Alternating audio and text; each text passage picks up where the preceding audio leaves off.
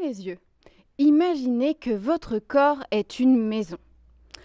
Vos pieds et vos jambes correspondent aux fondations stables de la maison. Votre buste, avec tous les organes vitaux, est semblable aux étages comprenant la salle de bain, la cuisine et les chambres. Et votre tête, pleine de connaissances et de souvenirs, ressemble bien évidemment à un grenier rempli de dossiers et d'albums photos. Ouvrez les yeux. Non, la thèse ne m'a pas rendue folle, pas encore. Mais cette comparaison va me permettre de vous expliquer mon sujet de thèse. Dans une maison, la pression de l'eau dans les, tuyaux permet d'acheminer l'eau dans toute la maison, y compris les étages. Dans votre corps, la pression du sang dans les artères permet d'acheminer le sang dans tous les organes, les muscles des jambes, les reins, le cœur, le cerveau, etc.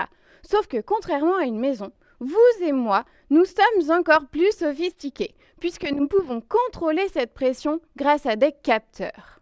En effet, le sang exerce une pression sur la paroi des artères. Les cellules composant cette paroi sont capables de ressentir les variations de la pression sanguine.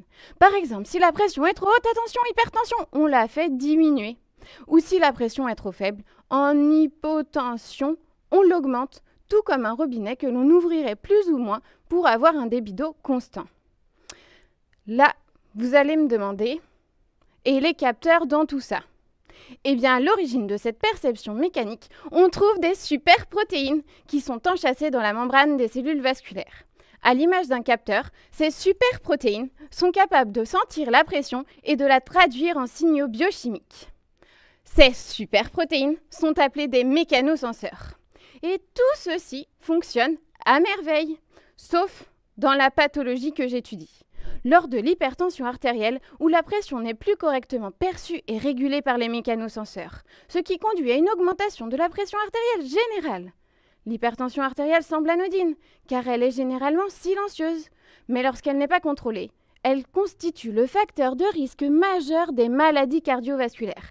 Elle est donc votre pire ennemi. Mais pour y remédier, ne vous inquiétez pas, je suis là. L'objectif de ma thèse est d'identifier de nouvelles protéines mécanosensibles des cellules vasculaires, c'est-à-dire de nouveaux capteurs de pression impliqués dans l'hypertension artérielle. Comment je fais? Eh bien concrètement, je soumets des cellules vasculaires à différentes variations de pression et je regarde si certaines protéines voient leur expression modulée. Ensuite, je vais cibler ces nouvelles protéines afin d'augmenter ou d'éteindre leur expression dans l'optique de développer une thérapie génique contre l'hypertension artérielle. Alors je vous donne rendez-vous dans deux ans pour un super traitement.